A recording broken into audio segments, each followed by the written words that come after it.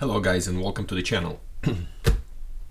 Hello guys and welcome to the channel. In this video we're gonna do a couple of things with uh, 2014 MacBook Pro 15 inch. Um, first thing we're gonna do is we're gonna replace its battery. Um, the battery you see right here, this is the original one. I pulled it out and um, it was it was getting old. Um, it had about 750 um, cycles through it, and it was it was not holding charge very well. It would last probably two three hours just um, being online and just watching YouTube and all of that kind of stuff. Not even putting um, heavy load on it. So it was time to replace the battery. Also, another thing I'm gonna do is while the battery was out, I had to run the laptop for a couple of days without the battery, just on the power cord, and I'll explain why while that was happening while i was running it on uh, without the battery i noticed my laptop was running a lot slower. It was uh, very slow. It was just just creeping. And so i i thought about it and I, I thought maybe because the battery gives you more juice more power when it needed it um, it was running slow because of that. I didn't know. So what i did this time for this uh, video as well is i did a um, geek geekbench um, I'm gonna post two scores on the Geekbench. First score I'm gonna post, um, and you're gonna see it right now, right here. This is the score of the MacBook Pro 15 inch 2014 model um, i7 processor, and you see the spec right here on the bench test um, without the battery. This is the test just on the power cord.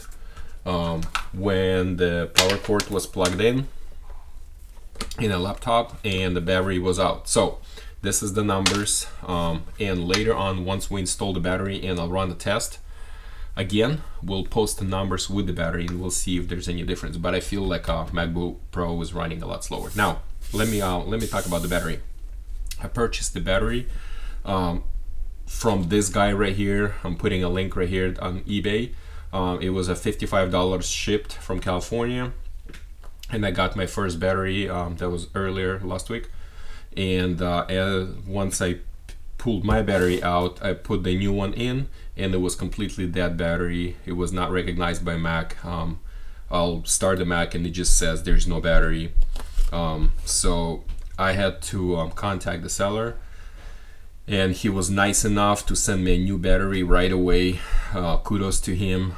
Quick return turn around he sent me new battery before I even sent him mine. So he gave me a, a shipping label. I returned his battery back to him, the dead one.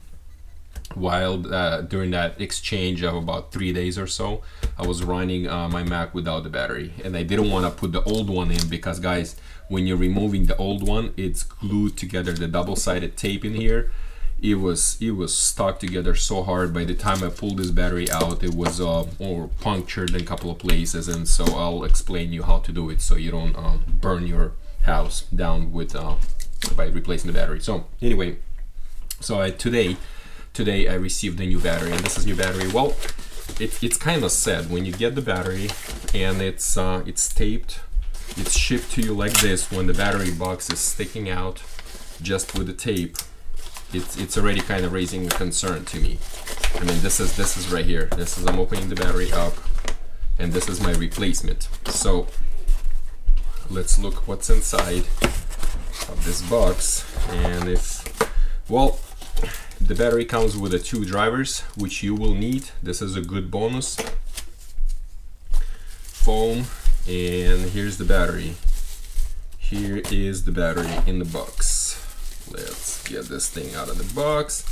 Um, in the listing on eBay, it says this is, it says that this is originally, original OEM factory Apple battery.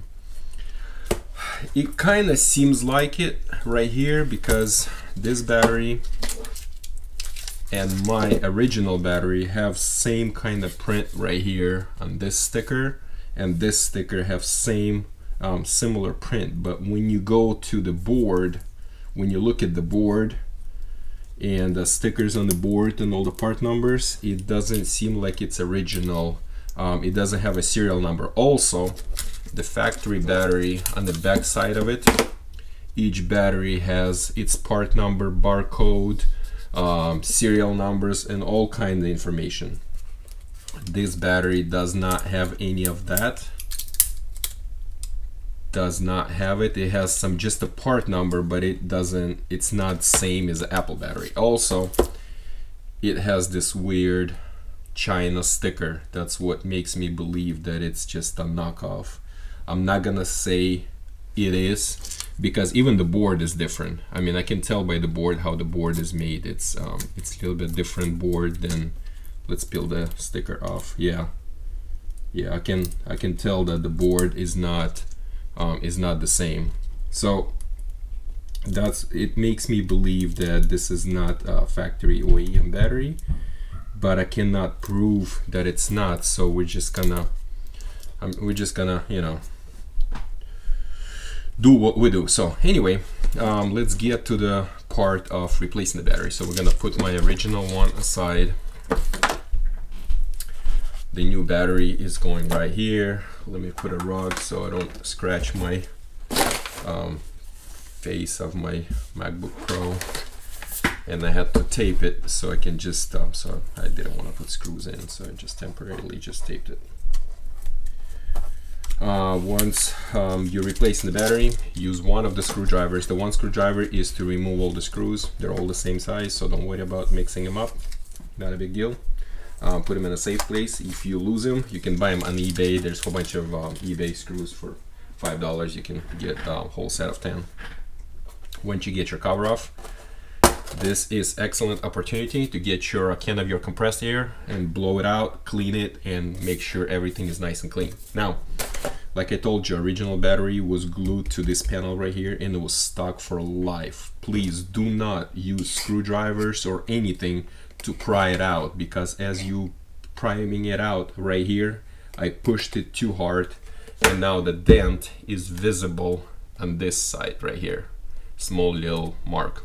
So be careful what I would use is I would get a credit card and start working it with a credit card, pushing it out. Also, this pad right here, be careful. This is your uh, touchpad on the other side.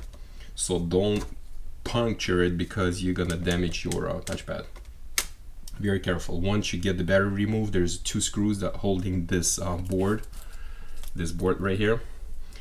Before I take all the covers off and all the tape and stick it to it, I want to plug the battery in and I want to test it and make sure this is uh, uh, they sent me a good working battery so let's do this by uh, what I want to do is I just want to secure this board right here with with the screws so it doesn't short anything or and why I'm thinking this is not a factory because on the factory board the screw holes were just the size of the screws on this board right here they're so big the screw can pretty much fall right through it and not hold the, the hold the board in place really well so all right let's put the screws in just so it's nice and secured and nothing is uh, flying out well, another thing, another thing I want to tell you. Once you peel this tape that's holding batteries together, the aftermarket batteries don't have pads. On the factory batteries, they have this little cushiony, um, cushiony little foam right here on one on each battery, so that the the back cover pushes